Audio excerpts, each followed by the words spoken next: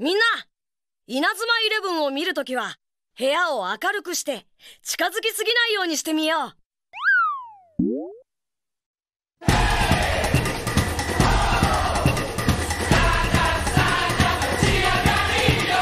稲妻チャレンジャー。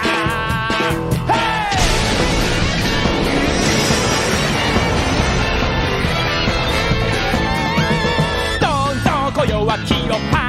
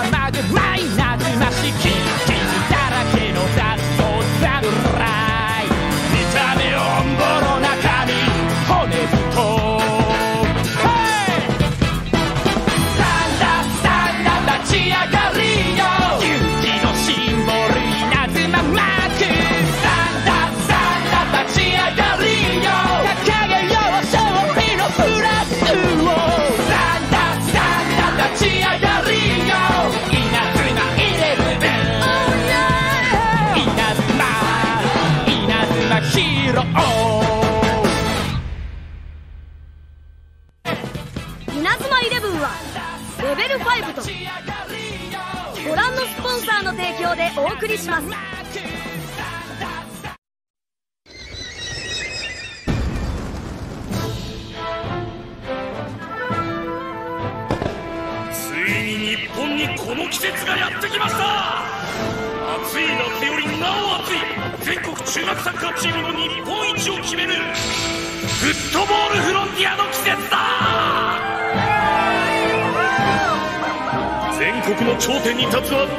チームなのか？しかしその前には通らねばならない関門がある。そう予選を勝ち抜かなければならない。そして予選を通過した14校と推薦枠2校こそが真の意味での王座を狙えるのだ。さあその栄えある予選第1回戦の組み合わせは？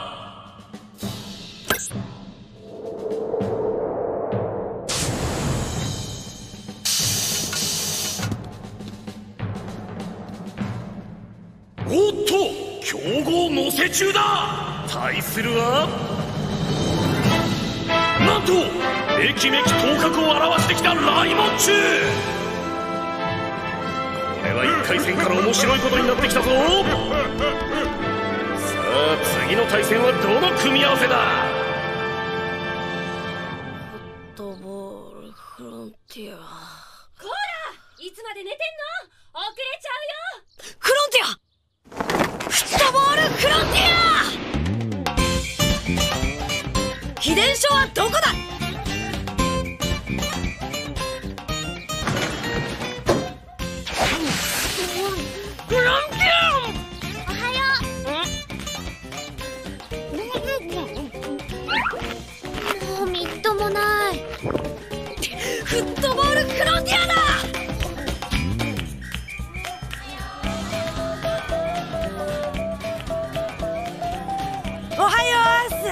すおはフットボールフロンティア。キャプテン燃えてんな。ようフットボールフロンティアだからね。チース。お。よう。俺ドモンよろしく。よよろしく。もで校長室ってどっち？しかして転校生ですか？そう。ピッカピカの転校生。まったく散らかしっぱなしで、はあ洗濯機に入れてちょうだいっての？誰に似たんだろうね？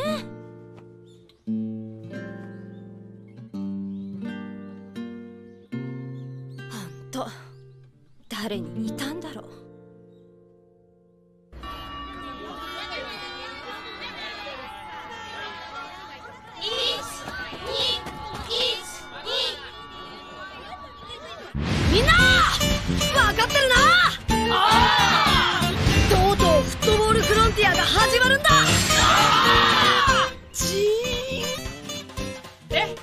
手はどこなんだ？相手は？知らない！乗せ中ですよ。乗せ中は確か。昨年の地区予選の決勝で帝国と戦っています。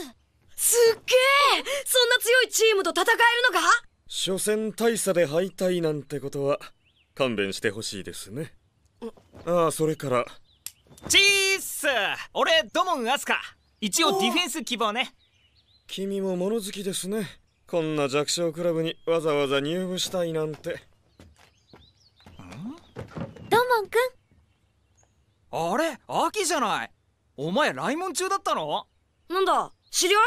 うん。昔ね。とにかくの歓迎するよフットボールフロンティアに向けて一緒に頑張ろう！相手乗せ中だろ？大丈夫かな？なんだよ新入りが偉そうに。前の中学で戦ったことあるからね。瞬発力機動力とも大会屈指だ。特に高さ勝負にはめっぽう強いのが特徴だ。ちょちょっとトイレ！戦う前からビビってどうする？さなら大丈夫だ。俺たちにはファイヤートルネードドラゴンクラッシュそしてドラゴントルネードがあるんだぜ。どうかな。あいつらのジャンプ力とんでもないよ。ドラゴントルネードだって上から抑え込まれちゃうかも。んなわけないだろ。ドモンの言う通りだ。俺もあいつらと戦ったことがある。空中戦だけなら帝国をもしのぐあのジャンプ力で上を取られたら。そんな。ドラゴントルネードが効かないかもしれないなんて。ややっぱりトイレ！新必殺技だ！新しい必殺技を生み出すんだよ！空を制するんだ！制するんだ！行くぞ！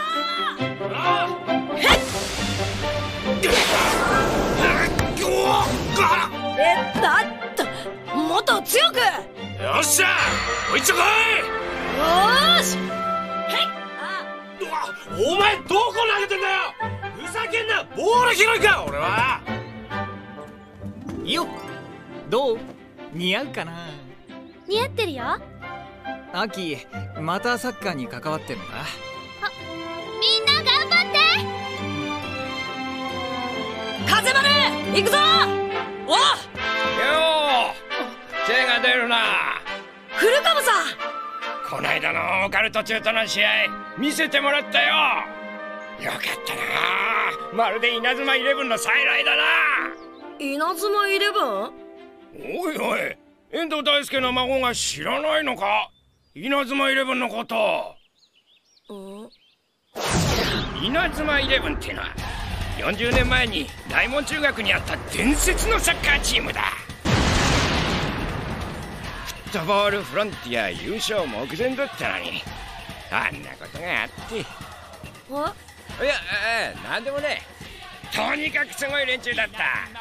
あいつらなら世界を相手にしたって戦えたはずだ。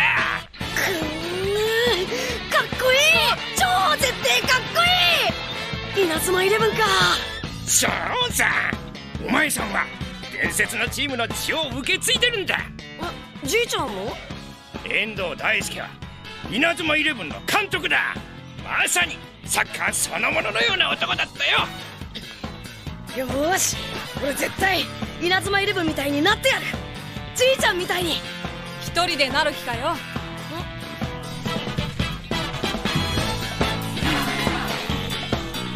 もちろんみんなでさ。な。俺たちは稲妻イレブンみたいになってみせるねえ。おそらく乗せ中に敗れることは間違いないでしょう。はい。分かってます。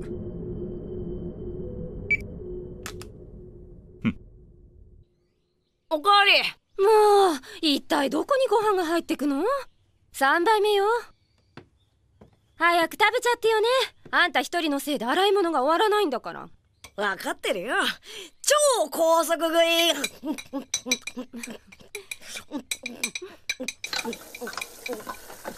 ねえじいちゃん稲妻イレブンだったの？ねえそうなの？さあ知らないわ。そんな昔のこと。母ちゃん本当に知らないのかな？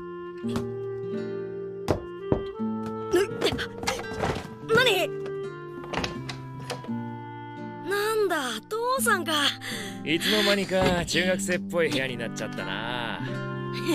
当たり前じゃない。サッカー好きか。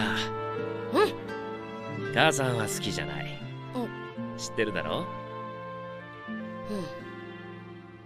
母さんはサッカーがおじいさんを不幸にしたと思ってるんだ。何があったの？父さんにもあまり話してくれないんだよ。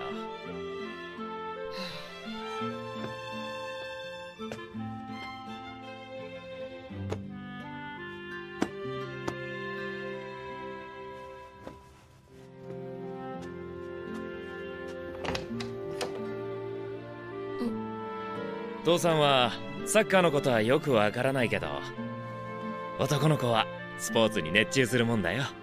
じ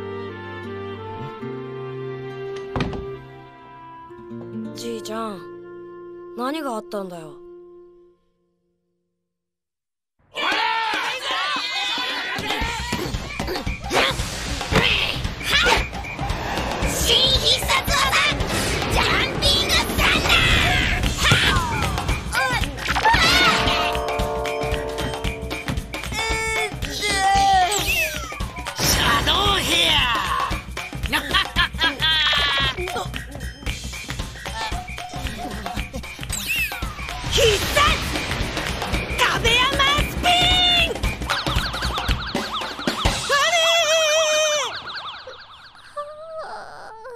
中との試合までに新必殺技なんてできるのかしら。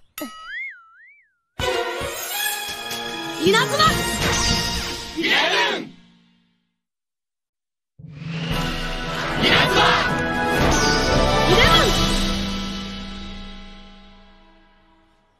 フットボールフロンティアが始まるってのに新必殺技の日の字も見つからないなんて。諦めるなよ。諦めてるわけじゃないよ。ただ最悪の事態も考えておかないと。新必殺技が見つかったとしても身につけるまでは練習が必要だ。うーん。まなんとかなるさ。なんとかって。うん。よーし。早速来来県で作戦会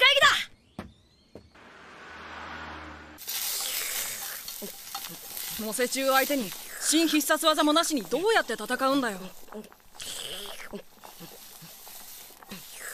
議だ俺はみんなを信じる。は？たとえ新必殺技がなくたってやってくれるよ。思い出せよ。俺たち稲妻イレブンになるんだぜ。伸びるぞラーメン。あやべ。稲妻イレブンか。ふぅじいちゃんたちどんな必殺技持ってたんだろう。知りたいなイナズマイレブンの秘伝書がある。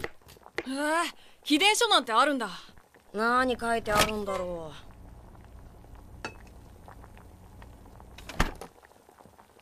ええ秘伝書だって？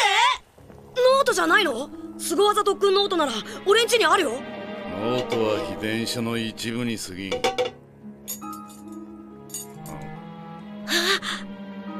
お前遠藤大輔の孫か。そうか。大輔さんの孫か。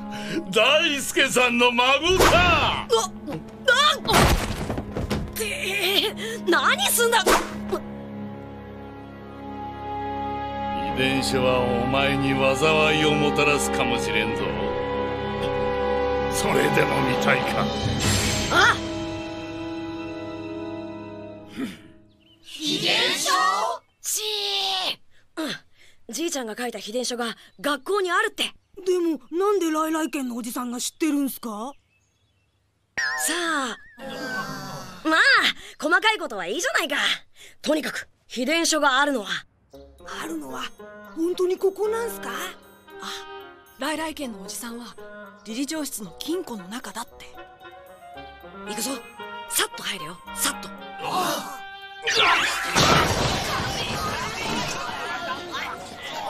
重い。よし任せろ。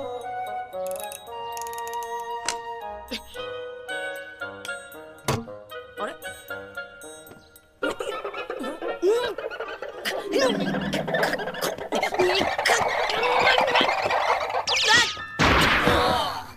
何が任せろだよ。早くしろよ。見つかったらどうすんだ？とっくに見つかってるんだけど。ああのこれはその練習だよ。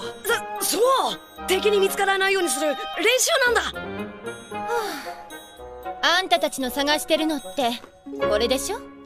じいちゃんの秘伝書！でも意味ないわよ。なんで？読めないもの。暗号で書かれてるのか？外国の文字っすかね。いや恐ろしく汚い字なんだ汚いんですか？多分。誰も読めないんじゃ。それ使えねえよ。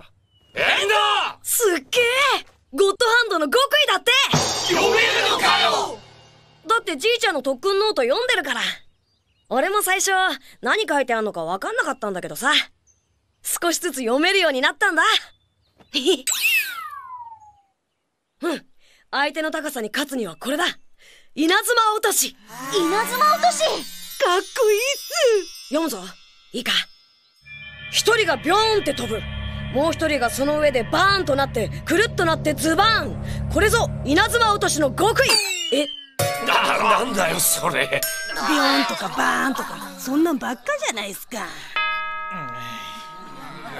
遠藤お前のじいさん国語の成績良かったのか？さあサッカー一筋の人だったらしいからあんだけ騒いでビョーンのズバーンか。もうちょっと書いてくれよ。でもさじいちゃんは嘘はつかないよ。ここには本当に稲妻落としの極意が書かれてるんだ。あとは特訓さえすればいいんだよ。どっから来んだ？その自信。ビョーンと飛んで？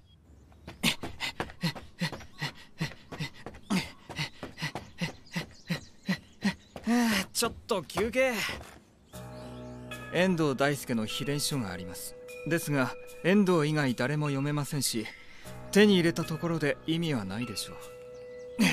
休憩終わり。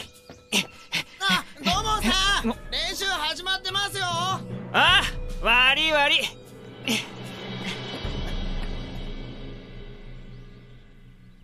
本日のメインイベントはこれ。敵の凄技を受ける特訓だ行くぞ！いきなり無いいね！特訓だね！遠藤ちょっといいか？さっきの秘伝書のことだけど。うん。あれってこういうことじゃないかな？まず一人が飛ぶ。もう一人がそいつを踏み台にしてさらに高さを稼ぐ。十分な高さに達したところでオーバーヘッドキックどうだろう？高円寺そうだよ。多分その通りだよ。すごいなお前。そんな不安定な足場からオーバーヘッドキックを出せるのは高円寺お前しかいない。俺が？うん。そしてお前の踏み台になれる奴は。うわ壁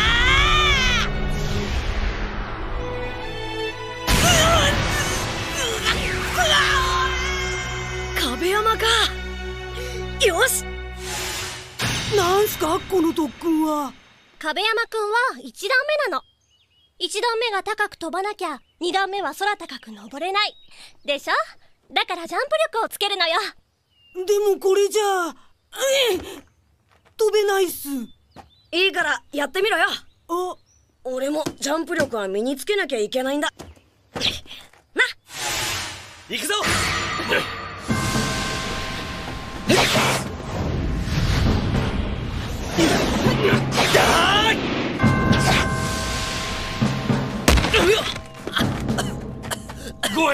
大丈丈夫か？大丈夫だ。まだ高さが足りない。もっと高く放り投げてくれ。分かった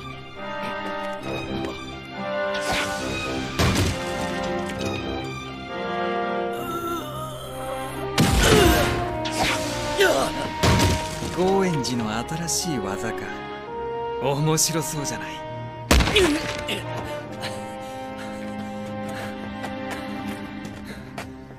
なあもうやめないか。ボロボロじゃないか。そっちこそ。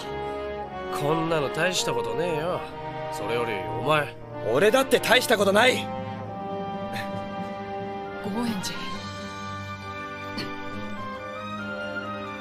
分かった付き合うよ。も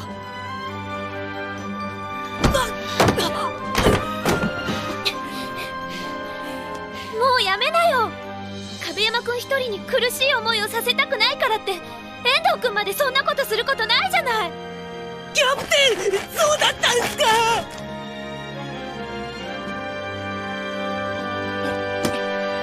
まだまだ。でもでも俺もうダメっす。人間もうダメだって思った時こそ本当の力が出てくるってもんささあもう一回だ。はい。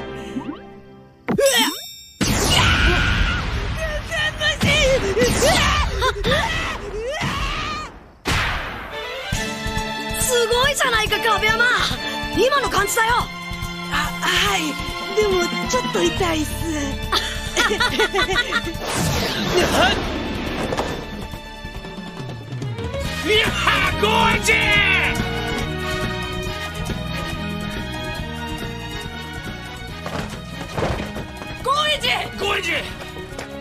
大丈夫だ。とうとうやったな。いやまだまださ。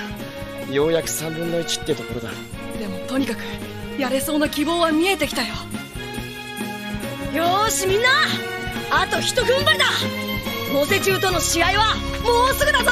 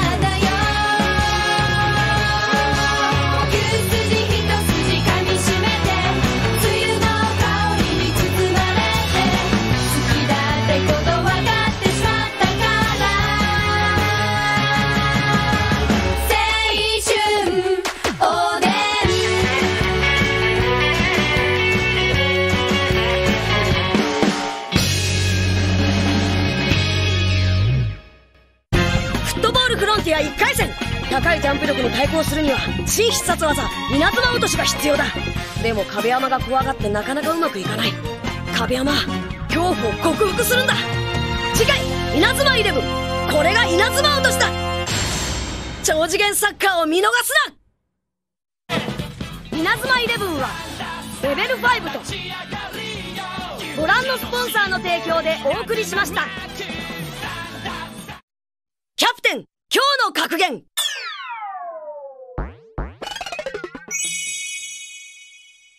人間ダメだと思った時こそ本当の力が出てくる。以上。